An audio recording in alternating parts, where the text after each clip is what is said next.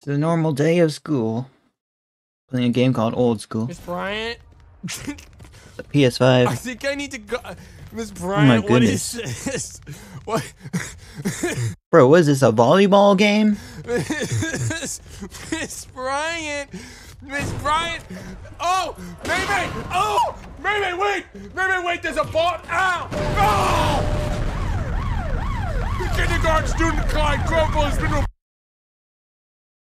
Spontaneous fire and everything, guys. I can't find the I can't find the thread.